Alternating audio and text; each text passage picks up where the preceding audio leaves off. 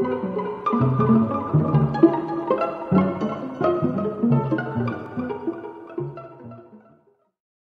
uomini non sono razionali 24 ore al giorno e del resto la ricerca della verità richiede sempre una passione, la passione per la verità e anche nel campo scientifico c'è una passione che si chiama epistemofilia, cioè amore della scienza. Purtroppo eh, noi siamo abituati a un'educazione razionale che va benissimo, ma trascuriamo quella che vorrei chiamare educazione sentimentale o questa educazione sentimentale ci viene trasmessa in maniera indiretta attraverso lo studio delle grandi opere d'arte, sia letterarie che pittoriche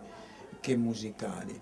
Cercare la verità significa eh, sostanzialmente avere una motivazione per cercare la verità, perché la verità non è qualcosa di inerte che si trova già data, implica la ricerca e la ricerca implica lo sforzo, la tensione, la volontà di verità, che è nello stesso tempo anche volontà di non cedere alle emozioni passeggere, alle falsità che vengono divulgate, ma appunto di, è come un raggio di luce che focalizza le cose e questo raggio di luce deve avere una direzione. Ho detto in termini biologici non esiste verità invertebrata e la colonna eh, dorsale della verità è appunto la, la, la passione della ricerca.